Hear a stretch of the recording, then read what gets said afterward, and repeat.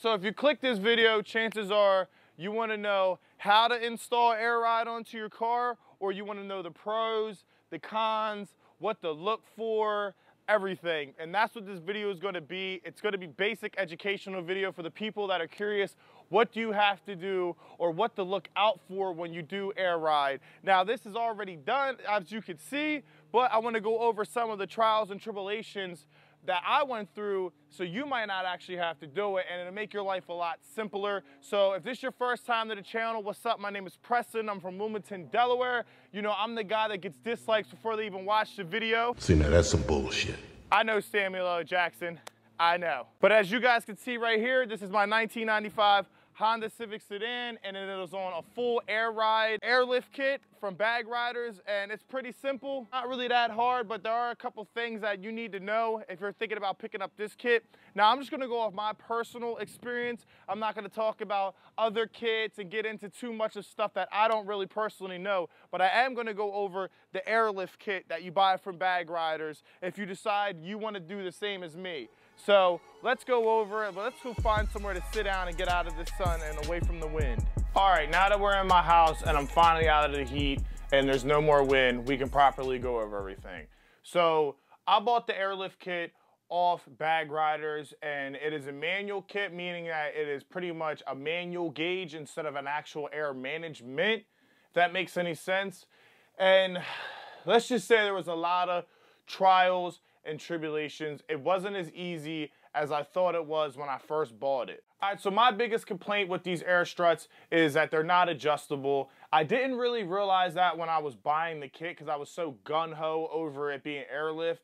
So that's something you guys might want to consider with going with Truhart or D2, somebody that has a spindle on the bottom or the top where you can make it smaller or shorter. Now, if you do want to buy these struts, there are ways around it, and that's another thing I'm going to go over right now. So when you buy the struts, they're not going to have any top hats on them. They're going to be bare, and you're going to be like, where are my top hats? Well, they do that, so say if you're on stock suspension or aftermarket coilovers, you could take those top hats and put it on the airlift. Say you have OEM struts, you could take the top hats off that and put it on there and vice versa, you know what I mean? So my coilovers were Truharts and I had the Truharts top hats. And they're like, they're practically two inches thick. They're very thick. And the issue that I'm having personally with my struts is they're too tall. So I can't go as low as I want, but I can go super high in the air. I'm still as low as I was static, if not a little bit lower, but I can go super high up. So it's not that big of a deal, but I wanna go lower. So what I'm gonna do, and I have a buddy that's actually gonna buy my coilovers,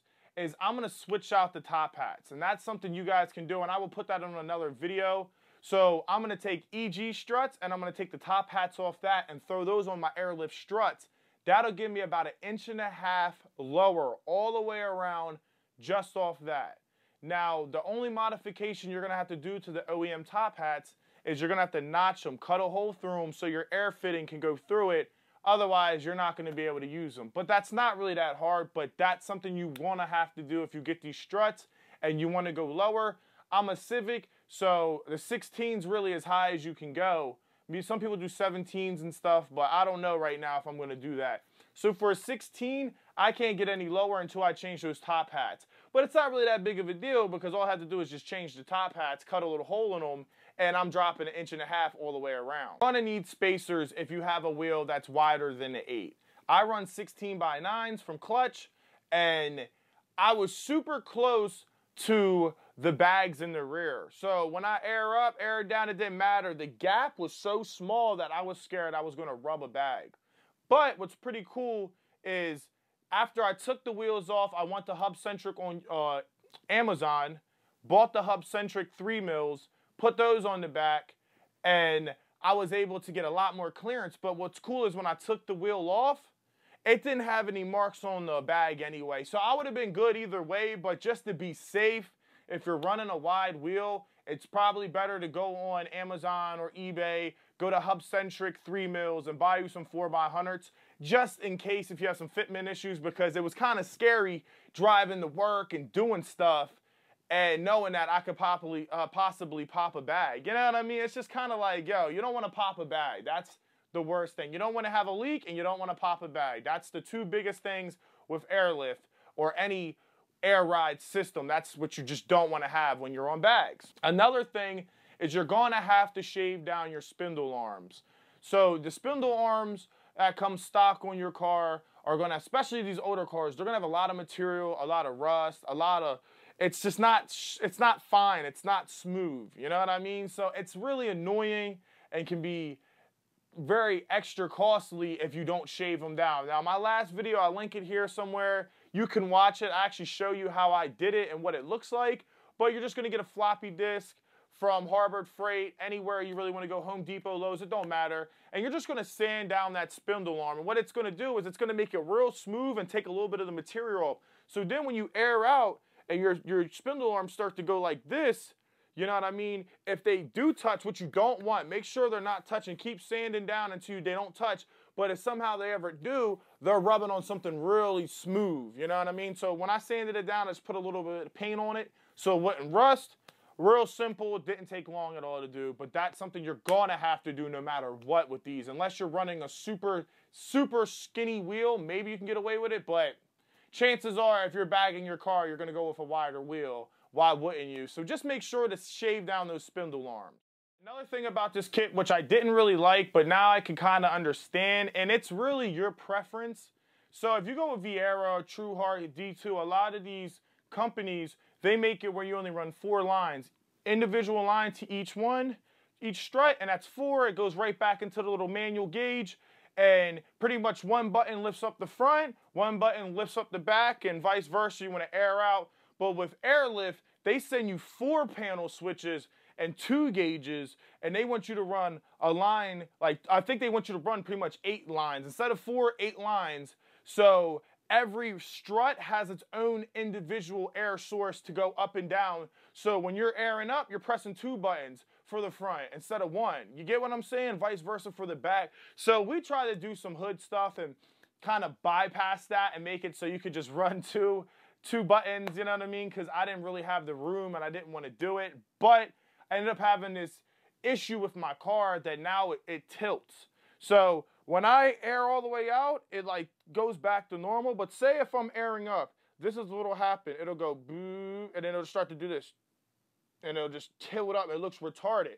But what I found out after I put the spacers on and aired it completely up, if you air all the way up, it'll straighten back up. When you air all the way down, it'll straighten back up. But in the middle, it's like crooked.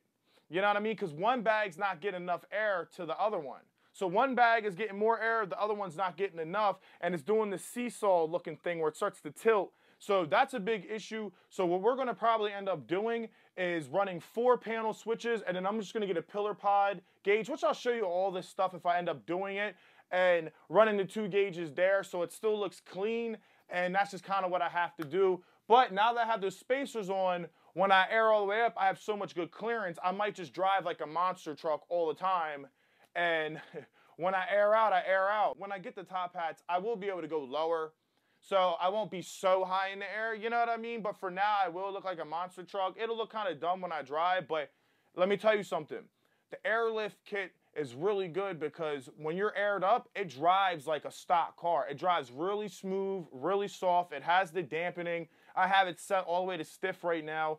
I'm probably going to loosen it. You know what I mean? Let it go a little easier. But that's just something you guys have to understand that without those top hats, you're going to be really high in the air and you're only going to be able to get so low. The fittings they give you aren't that good.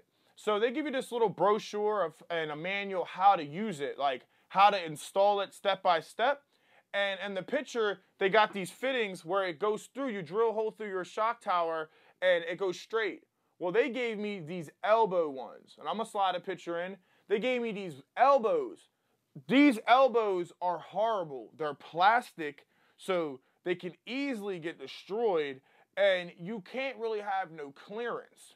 So what happened? We had to flip it around and cut a bigger hole to make the fronts work, which looks like shit, but whatever.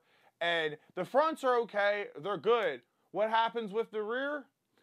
I couldn't we couldn't flip the coil we couldn't flip the air strut around and drill a hole through that and then put them in there. It was no way to do it. There wasn't no clearance. It was horrible. It was just, it was impossible. So what happened was we had to flip it around and have it facing the wheel. Well, I'm sure you could probably think what happened next. I burnt through it. Had an air leak, still testing everything. I'm making sure I'm aired up super high because I don't want my bag to rub. And I rubbed the, both fittings out and literally burn them out, have an air leak. So what I did and what you should do is they got like truck stops that sell fittings. And what you should do is go buy some like steel aluminum style ones that are straight. They're they're they're kind of expensive. They're like 15 to 30 dollars a fitting. They are expensive, but they're way stronger, way more durable. And what we did was able to flip it and drill a hole so it went straight through and I could run my line. So now I'll never have to worry about that. I haven't had any air leaks. I haven't had any issues since we changed out the fittings. So fittings are a big thing. You might want to go somewhere and get some better fittings.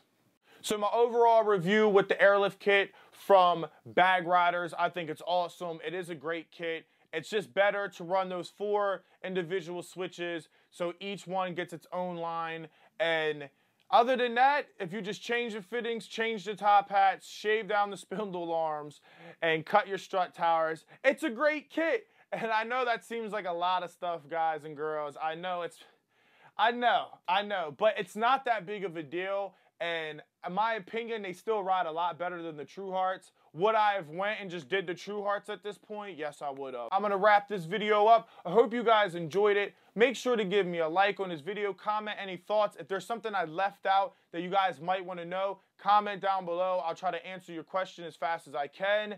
And like I said, overall, Bag Riders had great customer service. The kit's great.